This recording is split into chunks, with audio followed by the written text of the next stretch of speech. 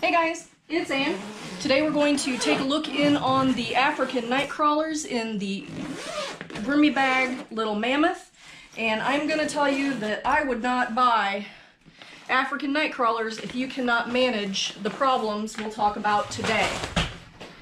Um, so I have a, a, little bit of a fruit fly problem in here, but uh, I will get the trap out for that later. Okay, we are looking in on the African night crawlers after about three weeks. Last time I had a big problem with moisture.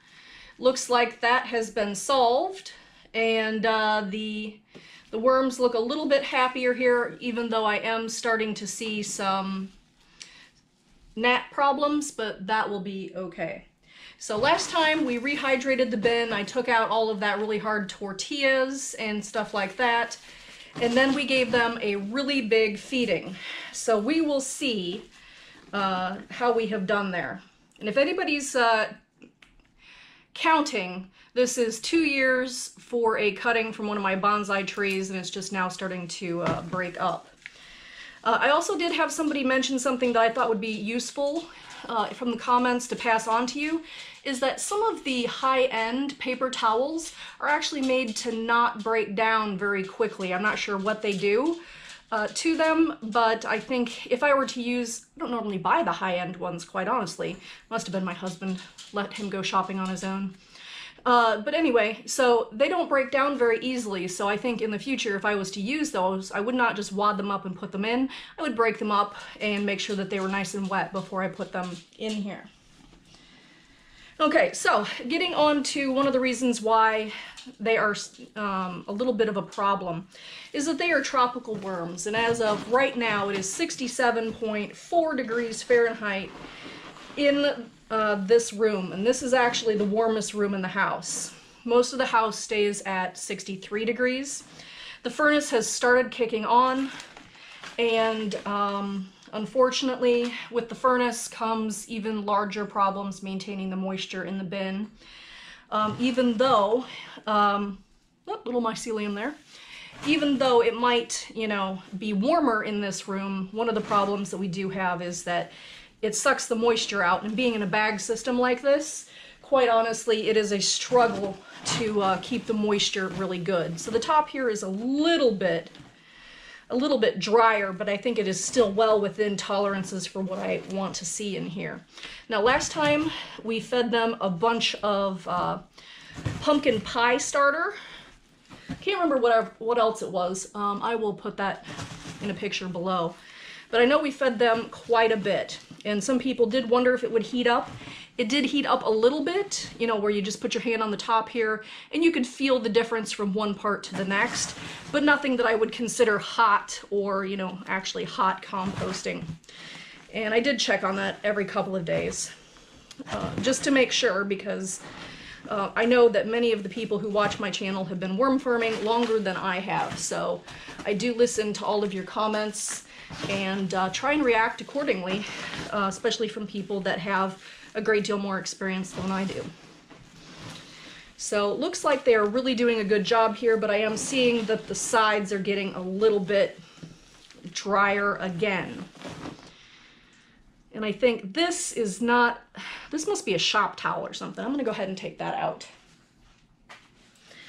So it looks like we do have uh, a decent moisture for most of the bin here, so I will stop beating myself over that, beating myself up over that right now. I'm gonna put the uh, Ficus elastica or the rubber tree plant leaves and I'm gonna tuck those in. They do take a little bit of time to get done. Somebody was asking about elephant ears or outside plants. I think honestly the ficus, uh, which does have latex inside of it as a sap. Um, that's why they call it the rubber tree plant. It actually exudes uh, latex. And the worms don't seem to be bothered by it at all, but just in case if you're trying a new plant to feed to your worms, I would just put it off to the side like this, and that would ensure that if it was a problem, that you would uh, not be damaging their worms and you could get them to have a safe space to go um, away from it. So I'm not seeing a ton, a ton of worms here. I'm really hoping that the drying out of the bin didn't damage the population too badly, but I'm really, I'm not seeing a worm ball here at all. So that is, uh, a little, I see a couple of them here, but not very many. So like I was talking about, buying a tropical worm when you live in zone five like I do, and I do keep my worm, my wormery slash the rest of my house pretty cool. The uh, general temperature in my house is about 63 to 65 degrees Fahrenheit, and honestly, that's not good enough for the African night crawlers. They are tropical worms, and they do very poorly in temperatures um, that are below 70 degrees Fahrenheit. So that is one of the reasons why I think if I had to do all over again, and if I was talking to me three years ago, I would say don't do it. Just get more red wigglers, just get more European night crawlers, because they're, they're kind of uh, high maintenance worms. It's not that they're hard to take care of, but they're hard to take care of if you don't live in the perfect environment. So one of the other things is that they are in this zippered um, bag here because they tend to run away. I live on a busy road. There's a lot of semi-traffic and I think the vibrations disturb them, which causes them to crawl out. When I first got them, they were crawling all over my living room.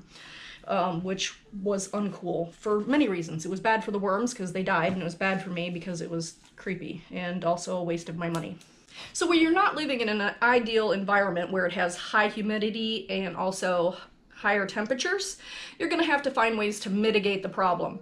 So for me, what I do is I tend to, you know, I moved these guys upstairs to the living space so it wouldn't get below 65 degrees. And then also I do have seed mats that I can put in here. Um, they are waterproof and everything, so you can just kind of tuck them down the side or lay them on the top, and that will keep the worms, you know, have them a particular area where they can go that would be warm enough for them that is comfortable. Uh, another thing to do is, um, especially when the furnace kicks on around here, I can't really go three weeks without checking in on these guys like I could in the summer when it had a very high humidity.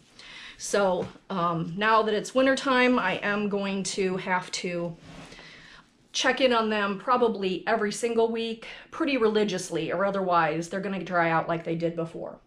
So let me get these guys a little bit more bedding and a good feeding because it looks like they ate every single thing I put in here. That will make a nice base for the feeding. Okay, what they're getting here is some apples that I just threw on the grill to try and kill any bugs that may or may not have uh, been in them because they were laying on the ground. I didn't want to introduce any weird bugs to my worm bin. So some of these are pretty dehydrated. This will be probably a combination of fast food and slow food because some of them are pretty squishy. So then there's also a couple of uh, squash that didn't finish out. So they should have a good time with this. Now let me get some bedding to top it off. I put a one gallon bowl here and this particular bedding actually has the leftovers from when I harvested it the last time. And uh, so I did put some water in there to kind of get the uh, leftovers from when I harvested the bin last uh, moistened back up again. So I'll just kind of fold everything in here. But let me know your thoughts. Do you have African night crawlers and do you have to spend money and time looking after them because they're really not appropriate for your area? And are you okay with it or would you have rather not have done it? Alright guys, well if you want to see more about the African night crawlers, I have an entire playlist right over here. And YouTube thinks you're going to like this video right over here. Alright guys, thanks for hanging out with me and my worms, and everybody have a good day.